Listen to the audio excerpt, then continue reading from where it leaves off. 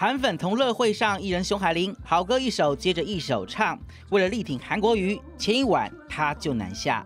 对我们是为了今天这个活动，我们特别从台北下来支持韩国瑜。那熊姐刚好录韩市长在你面前，什么话要跟他说呢？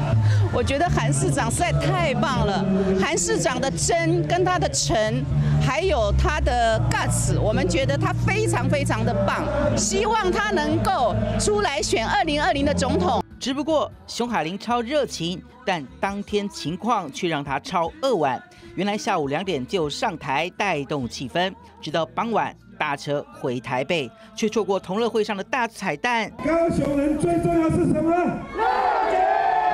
热情，就是热情。高雄市长韩国瑜，韩国瑜意外现身，让全场韩粉欣喜若狂。事实上，就算韩国瑜最后还是不出现，现场韩粉依旧热情满满。大中午就有人前来卡位，时间越晚人潮越多，光进场就让人想起选前之夜万人夹道热闹景象。